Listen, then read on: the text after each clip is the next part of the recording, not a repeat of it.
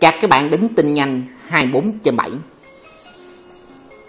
Xem trước xe điện CF Moto 300 GTI 2022 làm phương tiện tuần tra của cảnh sát Trung Quốc. Đây là một thị trường tiêu thụ xe điện lớn nhất trên thế giới.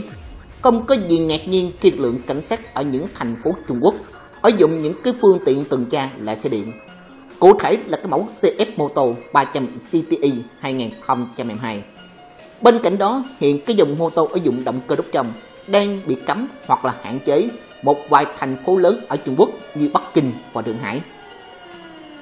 300 CTI 2022 đã được hãng CF Moto mô tả để chế tạo nhằm mục đích là đáp ứng nhu cầu của các sở cảnh sát trên khắp các thành phố lớn của Trung Quốc. CF Moto 300 CTI 2022 là một phiên bản thu nhỏ của cái chiếc Sport Touring 1250 TIC ứng dụng cho mình cái động cơ điện thân thiện với môi trường.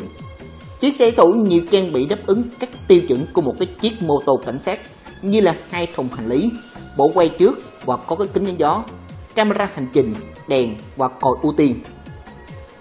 Nói về sức mạnh của cái chiếc 300 CTI 2022 thì em ấy được trang bị động cơ đặt giữa tạo ra công suất 18 kW và được điều chỉnh đến cái phần tốc độ tối đa là 120 km/h làm mát bằng cái lỏng. Cái có động cơ điện cho ra công suất tiêu chuẩn rơi vào khoảng 10,5 kW, nó tương đương là khoảng 14 lực. Và cái cực đại là 16,8 kW, nó tương đương là 22 lực. Mô men sáng cực đại là 54,2 Nm. Phạm vi hoạt động của khối động cơ này được hãng tuyên bố dừng ở mức là 150 km cho một lần sạc đầy.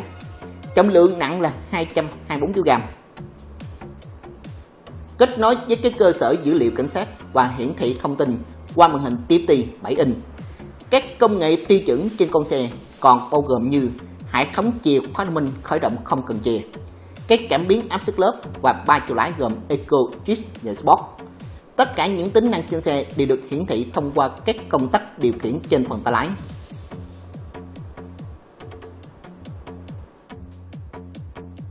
Cảm ơn các bạn theo dõi clip này. Hãy để tiếp nhớ like, subscribe.